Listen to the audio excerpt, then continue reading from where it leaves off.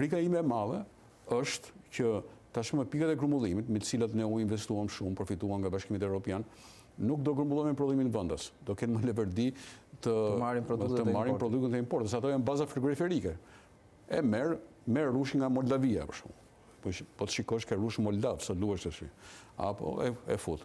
Merr hurmën nga Kreta, ke vënë re që kanë hurma nga Spanja. Nuk ka më hurma shqiptare. këto artikuj më, po këtë, kjo është një indicie, një drame të madhe që po ndodh. Praktikisht këto pika që u krijuan dhe u investuan për të shërbyer prodhim, prodhimit vendas, në mënyrë që ta lidhim me tregun, nuk i shërbejnë më prodhuesit vendas, po i shërbejnë prodhuesit të huaj. Dhe kjo është një dramë jashtëzakonisht e madhe. Prandaj duhet në radhë të parë riparë komplet strategjia e zhvillimit të bujqësisë.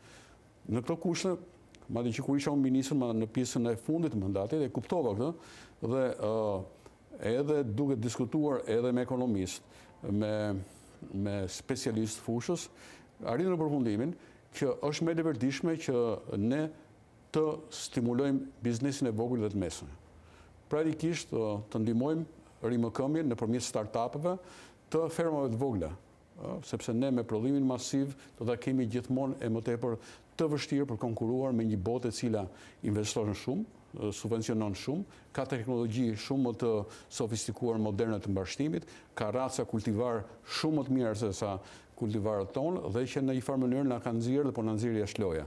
Atëherë, ideja ishte që ne të investojmë në prodhuesin e vogël, tek biznesi i vogël, ta mbillnim Shqipërinë me biznes të vogël dhe të mesëm dhe këtë ta lidhim pastaj me turizmin, në zinxhir më të shkurtër, sesa të marrësh, një miku im më thoshte, sesa të rrish t'i shesësh një arkë me domate për eksport, më mirë është t'ia shesësh një domate si sallatë një turisti, sepse vlerën e ka shumë të madhe. Prandaj duhej ai shift i madh, ai ndryshimi i madh i strategjisë së bujqësisë.